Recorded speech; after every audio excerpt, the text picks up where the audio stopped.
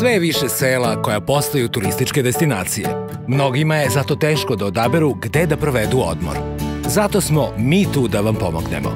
Emisija Lepša od Pariza otkriće vam koja selska domaćinstva da posetite ako želite da iskusite pravi život našeg seljaka, opustite se u prirodi i uživate u dobroj hrani. Prikazat ćemo vam gde možete otići ako vas zanima aktivan odmor, a gde ako želite više da saznate o bogatoj istoriji i kulturi naših krajeva. Dobrodošli u Lepše od Pariza, emisiju posvećenu seoskom turizmu.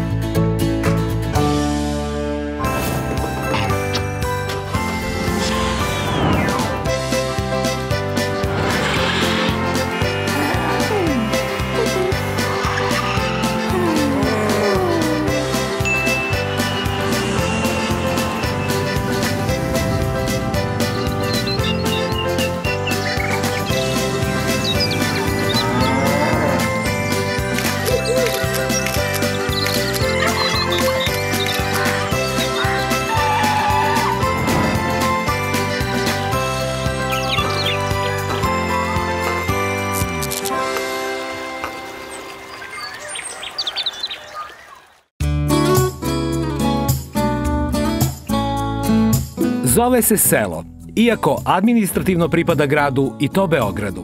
Podnaslov današnje epizode mogao bi slobodno da glasi tako blizu, a tako daleko. A reč je o nautičkom selu Biser, koje se nalazi na Savi u Sremskim Boljevcima, u opštini Surčin, udaljeno na samo pola sata vožnje od centra srpske prestonice. Kako među gledalcima ima mnogo nevernih toma koji dalje sumnjuju da možete biti u Beogradu, a istovremeno i u raju netaknute prirode, predlažemo da ostanete sa nama u minutima koji slede i pogledate priču o seoskom dragulju najmlađe beogradske opštine Surčin, na utičkom selu Biser.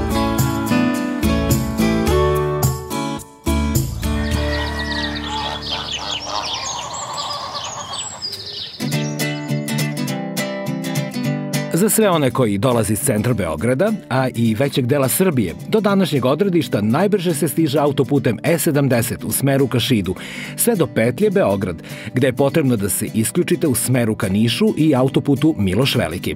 Posle nekoliko kilometara pratite novo isključenje za Surčin, a potom oznake za mesto Jakovo i Boljevce. U centru Boljevca, s leve strane, naići ćete na oznaku za nautičko selo Biser i posle 600 metara stižete na cilj.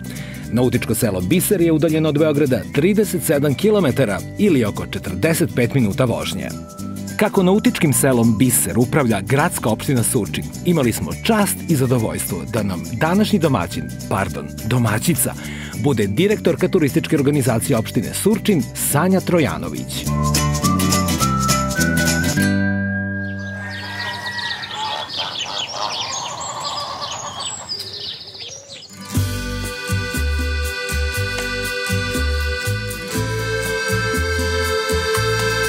Sanja, dobar dan vam želim. Dobar dan i dobro nam došli u Surčin, dobrodošli u Srem, dobrodošli u Biser turističke ponude Surčina, nautičko selo Biser. Prvi put u našim emisijama predstavljamo ruralnu turističku ponudu koja nije u privatnoj svojini. A posebno nam je zadovoljstvo što ćemo danas posvedočiti kako i pod gradskom upravom imamo divne domaćine koji mogu uspešno da vode turističke kapacitete koji mogu da pruže gostima izuzetan ugođaj. Čast je naša što smo vaši domaćini, pratimo vas, znamo kako radite i lepo je što je naše nautičko selo danas se prikazuje da se vidi kako je selo lepše od Pariza. Mi smo ponosni na sve ovo, imamo tu čast da uređujemo i da upravljamo nautičkim selom Biser smeštenim kapacitetima, takođe smeštenim kapacitetima u Bojčinskoj šumi, u zaštićenom prirodnom dobru, kao i ribnjakom Bečmenska bara. Redko koja turistička organizacija ima tu čast da upravlja takvim kapacitetima, a eto, mi smo jedni od tih koji zaista mogu i trude se da na što bolji način prezentuju i uređuju sve ovo što imamo. Danas smo ovde u ovom lepom izletištu, tu je naš i turistički informativni centar, prvi turistički informativni centar u Surčinu koji je otvoren prošle godine i zaista tu svi posetioci mogu dobiti sve informacije šta mogu videti i u čemu mogu uživati u Surčinu. Sučin više nije samo weekend bag, Sučin je sad postao jedna destinacija u kojoj može da se provede pa bar sedam dana, a zašto bar sedam? Jer imamo sedam naseljenih mesta i svako od tih naseljenih mesta ima svoje turističke potencijale. Pa hajde da krenemo da se poslužite, Sremci su poznati kao dobri domaćini i da se upoznamo. Dobro nam došli. Bolje vas našli. Prvi susret obećava. Pratim vas u stopu.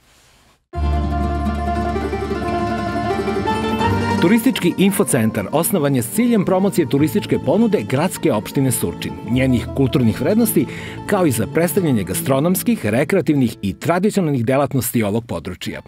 I ovde nas je obradovalo društvo ljubaznih domaćica. Dobar dan vam želim. Dobar dan.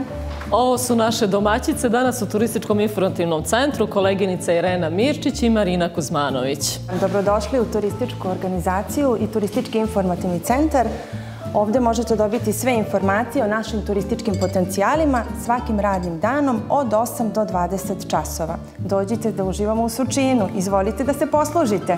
Šta ste to lepo izneli? Evo, izvolite, med, rakija.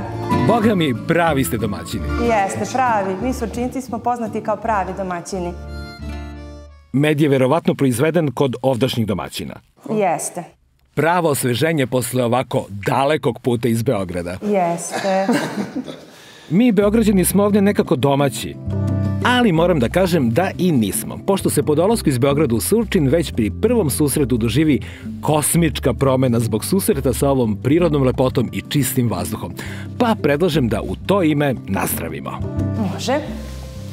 Tako blizu, a kao da ste otišli kilometrima Evo, daleko, izvolite, priznajte. pošto ste vi naši Priznajem. gosti danas. Evo za vas. Ovako. Izvolite, Sanja. Opa, i sremice umeju da nazdrave sa rakijom. Obavezno. Pa ne može jedno bez drugog. E, drage dame, uzdravlje. Dobro nam došlo. Dobrodošli. Što se kaže, u ruž. Da uživamo danas. Bolje vas našli i da se lepo družimo. Prava domaća. Domaća rakija. Jel vidite šta su sremački domaćini? Nema šale, a pošto nas danas puno toga očekuje da obiđemo, predlažem da krenemo s predstavljanjem nautičkog sela Biser. Ja predlažem da se spustimo na reku i odatle ćemo sve najbolje i videti. Baš odavde sa 35. kilometra reke Save. E, ako je 35. 35. onda da krenemo.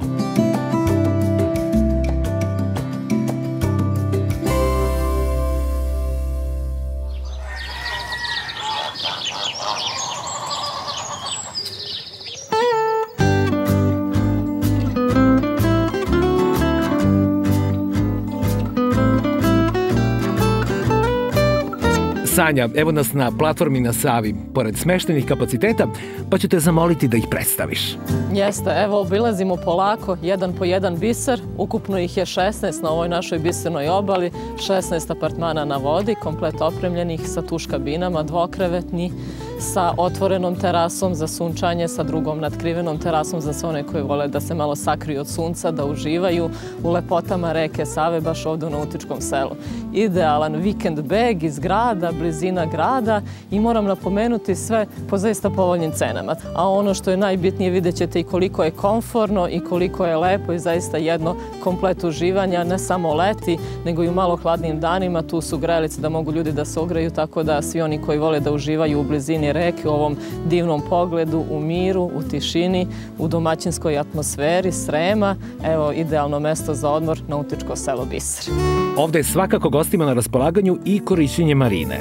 Tu su i mesta za čuvanje e, plovila tokom cele godine i ono što mi volimo da istaknemo da kod nas u našu opštinu mogu ljudi da dođu i sa kopna i iz vazduha zbog aerodroma Nikola Tesla i sa vode kao što vidite. I ne samo da mogu doći sa vode u naše kućice, u naše nautičko selo, u našu opštinu, nego mogu ostaviti svoja plovila ovde na čuvanju. Tako da sjajno ljudi krenu sa svojim čamcima iz grada, budu ovde par sati ili par dana, ali moram reći da se ljudi sve duže i duže zadržavaju ovde jer imaju šta da vide kod nas u Surčinu. Pre nego što predstavimo njihovu unutrašnjost, da kažemo da su sve kućice na vodi po strukturi identične. Jeste tako je, to su sve dvokrevetne sobe, to jest apartmani. Hajde da pogledamo kakve su unutra. Hajde da pogledamo. Kućice su sa obalom povezane mostićem i posjeduju terasu za boravak na polju na samoj vodi. Ulazimo u kućicu broj 3. Tako je. Dvokrevetni apartmani, evo vidite francuski ležaj, tu postoji sve ono što je potrebno unutra za ovakav skroman smeštaj, za tople dane klima uređaj, komarnici da ne bi ulazili komarci, ipak smo na reci, za hladne dane tu je grejanje, Tu su osnovne potrebe koje trebaju ljudima da bi ostali ovde par dana, mala natkasna, Wi-Fi naravno za svaku kućicu, tu je mali ormar gde mogu ljudi ostaviti svoje stvari i naravno kupatilo gde mogu ljudi da se osveže. Apsolutno se slažem. Ono što privlači najveći broj naših posetilaca jeste ono što je ispred, a to je terasa. Ključno mesto gde gosti provode vreme u stvari nije unutrašnja smeštaja, nego platforma iznad njega. Oni koji ne vole mnogo sunca, malo se skriju ovde ispod tende na ovim ležaljkama, a za one koji ipak vole malo više sunca, da pokažemo kako to izgleda gore na platformi. Do gornje platforme vode stepenice, a tamo nas čeka prizor za koji verujem da je glavni adut boravka u nautičkom selu Biser. Zaista jeste. Sada mi je jasno zašto je ovo biser naše turističke ponude i zašto je ovo biserna obala. Ovde smo gore malo bliže suncu i sada možemo uživati u ovoj divnoj reci, ovom divnom pogledu. Tačka sa koja je boravak na Savi ostaje dugo u pamćenju. Ja verujem kada dođu ovde da im ovo ponovo udahne život. Ovde se ozbiljno napune baterije. Evo još jednog sadržaja upriličenog za goste nautičkog sela, a to je vožnja katamaranom. Prava uživancija za sve generacije, u sva četiri godišnje doba.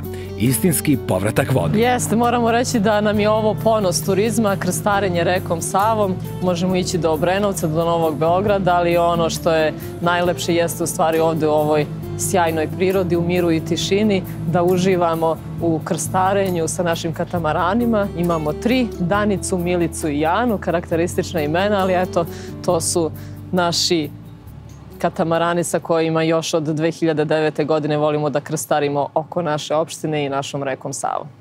Ovde najbolje može da se sagleda lepota nautičkog sela i svih njegovih sadržaja na obali odavde i vidimo ovu našu bisernu obalu i u stvari, evo, ono što jeste pojenta našeg nautičkog sela su dodatni sadržaj. To je lepo izlatište koje vidite u hladovini Hrastove šume iza nas. Tu su tereni za odbojku na pesku, tereni za futbol na pesku, tu su parkovi za decu, tu su lepe klupe i ležaljke na samoj obali gde ljudi mogu da uživaju u samo izletištu, da se sunčaju. Tu je takođe i biciklistička staza koja se pruža duboko u šumu. Na našem turističkom informativnom centru e, svi ljudi mogu da iznajme te bicikle, da uživaju nesmetano u prirodi. Tu su takođe i mali autići za decu gde eto porodično mogu doći ljudi na odmor i imaju šta da rade u ovom našem lepom izletištu. Verujem da će mnoge gledalce sada zanimati koje aranžmane nudite i koje su cene korišćenja kućica na vodi u nautičkom selu Biser. Celodnevno korišćenje kućica, ali cena je po kućici, ne po osobi, 3000 dinara, a poludnevni odmor, znači dnevni ili noćni odmor, je 2000 dinara. Tako da zaista cena je prilagođena za svačiji džep. Mi smo gledali da to bude nešto osnovno za održavanje i da zaista bude privlačno svima. Da li radite tokom cele godine? Radimo tokom cele godine, nažalost imamo samo 16 kućica, da ih imamo više bile bi sve popunjene, naročito u letnjoj sezoni. Mislili ste i na najmlađe goste? Jeste, jeste. Ovde zaista postoje sadržaj zanimljivi za decu. Tu je izletište sa parkom, tu su autići koje deca vole da voze. Ono što je jako zanimljivo da u toku cele godine organizujemo brojne manifestacije i najveći broj baš ovde u nautičkom selu. Neke su namenjene baš deci, tu su razni sportski događaji, trke, biciklističke trke na rolerima, skoro je bila rolerijada, bebijada i tako dalje.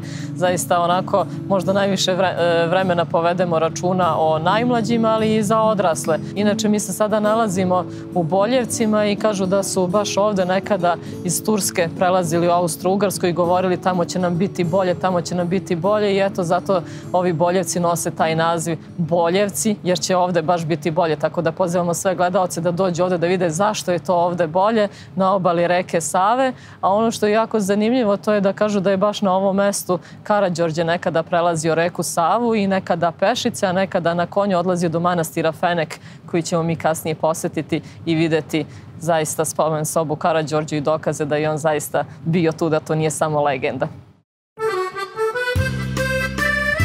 Na samo 15 km od Beograda, u Bečmenu, nalazi se ribnjak Bečmenska bara. Ovaj zemaljski raj za pecaroše se sastoji od četiri jezera ukupne dužine 5,5 km i jedinstvene oaze tišine ušuškane u netaknutu prirodu Vojvođanske ravnice. Sanjam, sa nama je danas upravnik Ribnjaka Danko Zarić, sjajan sagovornik za ovaj lokalitet. Ovde se ne radi samo o ribnjaku, nego i o skijanju na vodi, a evo, Danko, kaži nam nešto više o tom. Danko, dobar dan. Dobar dan. Želim da vam poželim dobrodošlistvo na Ribnjak Bečmenska bara. Hvala. Ribnjaci pod upravom turističke organizacije opštine Surčin služi isključivo samo za pecanje, sportsko-komercijalno. Kao što vidite iza nas jezero broj 1 na kome se trenutno nalazimo, ovaj, koje služi za komercijalni ribolov, da su dozvoljeni svi sistemi pecanja, su dozvoljeni, dozvoljeno iznošenje ulova u skupljenu dnevnu dozvolu. Preko puta nas se nalazi jezero broj 2, sportsko-šaranski ribolov je u pitanju, gde morate imati adekvatnu sportsku opremu, peca se po pravilima, bez improvizacije, e, isključivo samo sa jedne strane ovaj, ribnika. Recite nam, šta na Bečmenskoj bari tokom boravka ribolovci mogu da očekuju? Pa prvo, svaki ribolovac e, voli prirodu, uživanje, mir, tišinu. E, to je ono na čemu insistiramo, pored ove priče pecanja. Ovaj. Tako da, to je individualno kod svakog pecaroša šta oni u stvari traže na vodi. Znači, neko dolazi da uživa, neko traži mir, neko traži ulov. Mi im pružamo sve to. I ovom prilikom ih pozivamo da dođu i upoznaju ovo mesto. A tu je jezero broj 3 na kojem ljudi mogu da skijaju na vodi. Tu je klub ozbiljan sportski koji organizuje i međunarodna takmičenja o skijanju na vodi, tako da ko želi da se oproba u tom sportu može doći baš ovde na Ribnjak Bečmenska bara i tu je naravno veliko izletište za cele porodice gde mogu provesti sjajan vikend, sjajan restoran sa ribljim specijalitetima, tako da eto još jedna lepa priča turizma i Surčina. E, sad kad pomenu ste restoran, dirnuli ste me u srce. Predlažem da napravimo izvidnicu da saznamo šta se tamo danas lepo sprema. Hajde da vidimo.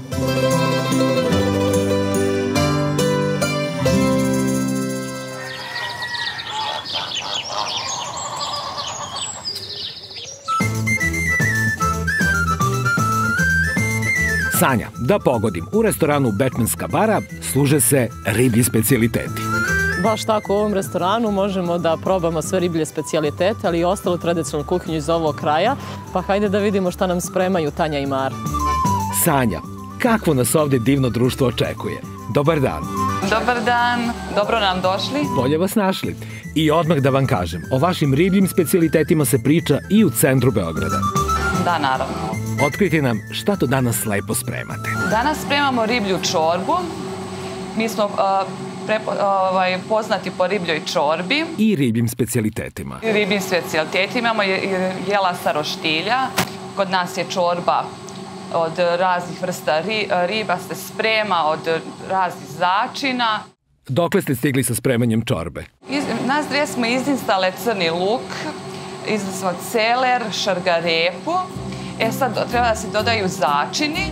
Koje sve začine stavljate? Stavljamo četiri kašike šećera.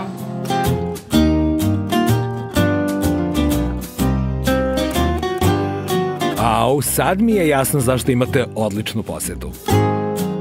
Dodamo vrlo malo bibera. To malo na ovu količinu je puna supena kašika bibera. Tako je. Dodajemo začin za piletinu.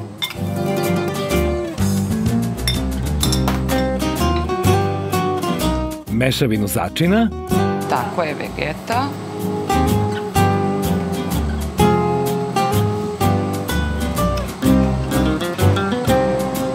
riblju čorbu kuvamo sve po meri da bi čorba bila prava.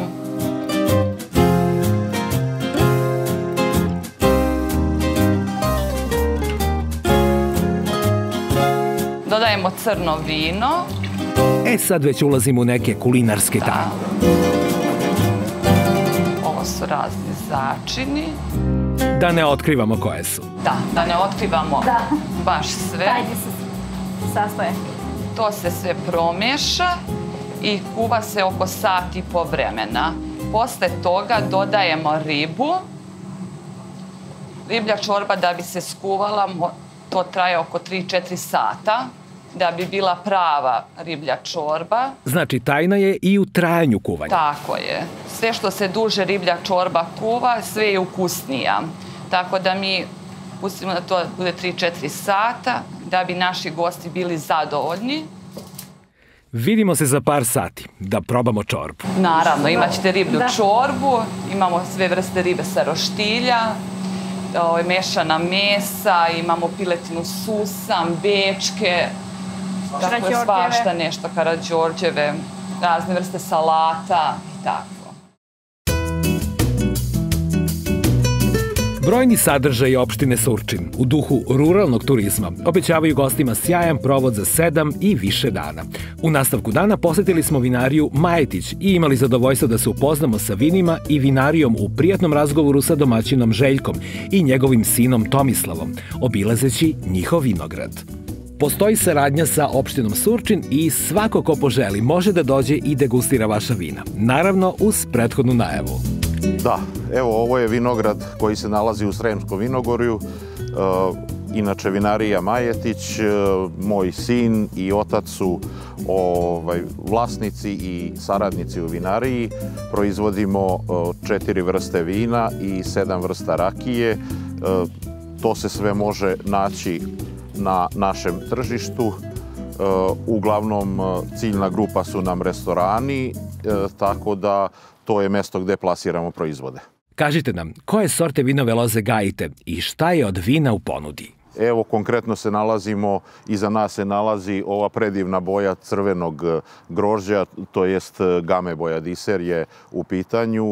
Kasna je jesen i on uvek dobije ovako e, divne boje pri završetku vegetacije. Da konstatujem i pohvalim da su ovde prisutne tri generacije vinogradara.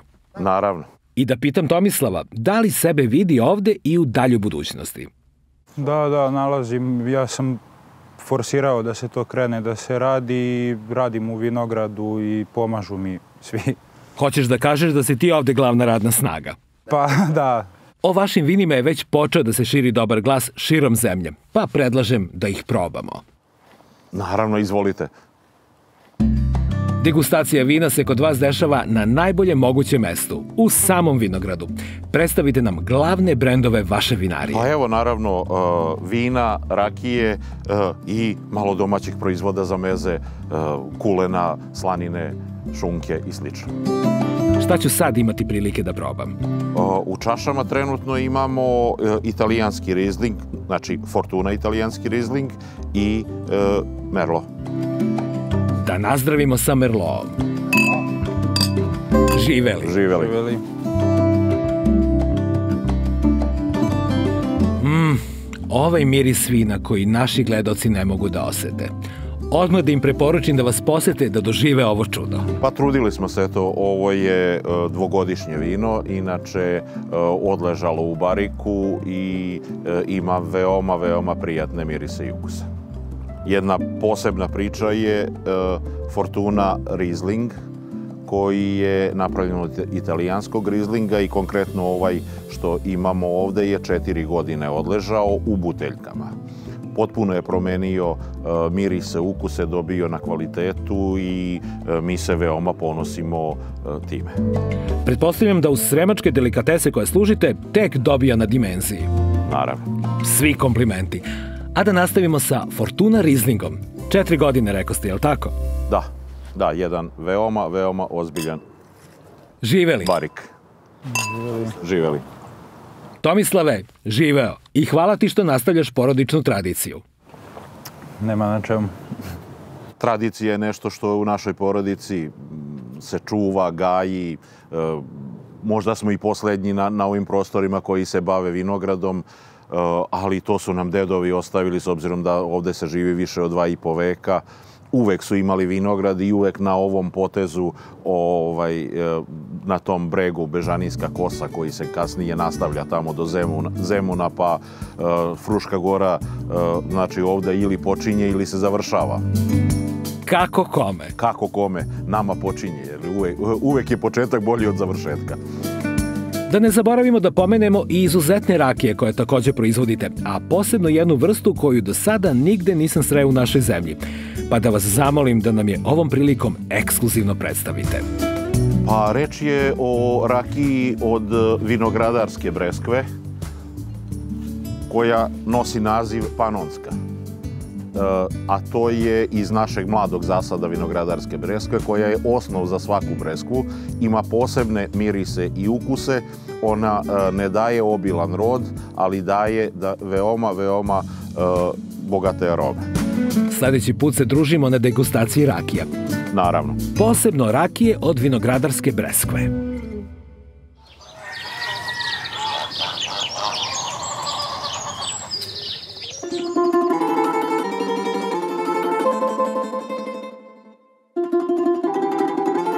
Po preporuci domaćina iz turističke organizacije Surčin posetili smo i manastir Fenek, važnu svetinju Srema, gde smo imali čast da razgovaramo sa monahom Nikolajem.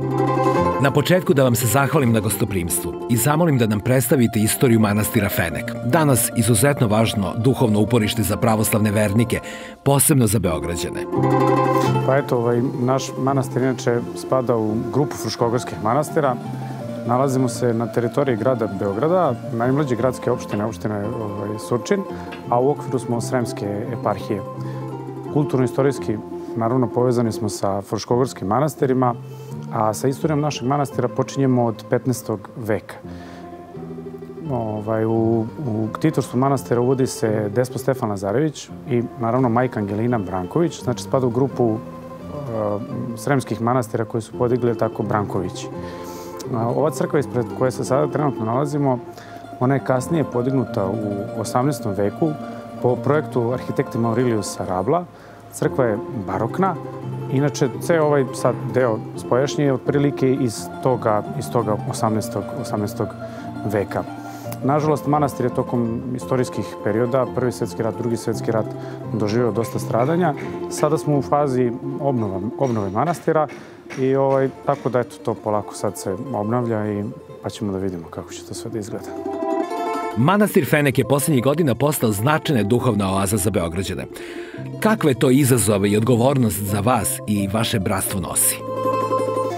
Pa i jeste, naravno, ovaj, to je važno. Mislim, veliki deo grada, taj Novi Beograd, Zemun, Surčin, to sve ovako, to je negde onako 500.000 ljudi svi gravitiraju ovaj, ka, ka ovom manastiru.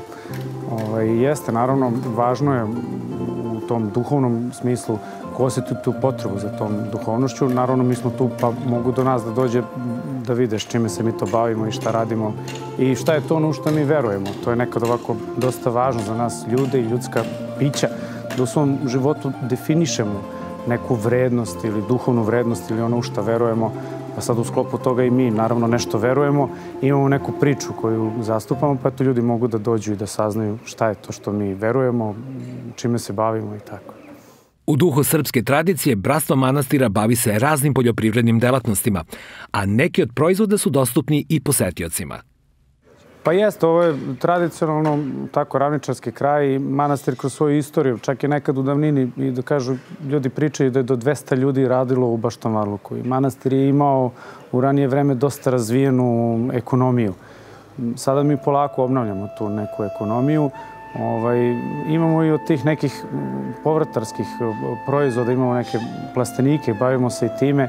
Međutim, sada imamo i pčele, bavimo se pčelarstvom. Međutim, glavno nam je sad trenutno fokus pažnje nam je usmeren na vinariju, gde želimo da napravimo jedan brend i rakije i vina po, po kome bi bili poznati. I sad uglavnom su nam te snage usmerene ka, ka, ka, eto, ka tom proizvodu. Hvala vam puno na razgovoru. Hvala. Svako dobro. Hvala, dođite.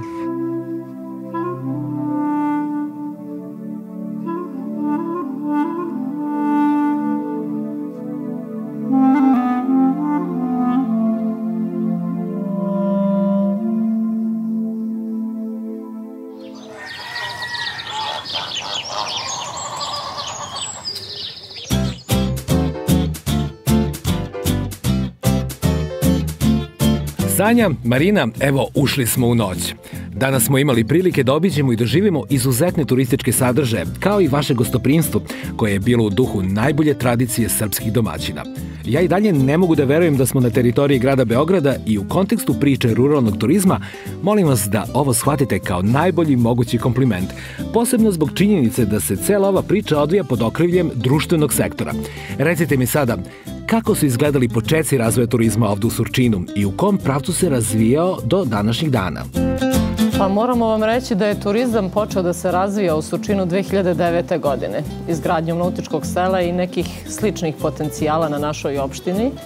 On je krenuo nekom uzlaznom linijom, pa je onda bilo malo stagniranje i moram priznati da je sadašnje rukovodstvo gradske opštine Surčin prepoznalo potencijale opštine i zalaganje zaposlenih koji rade na turizmu i samim tim su podržali ideju i 2019. godine po prvi put organizovali turističku organizaciju gradske opštine Surčin, a 2020. i prvi turistički informativni centar na našoj opštini.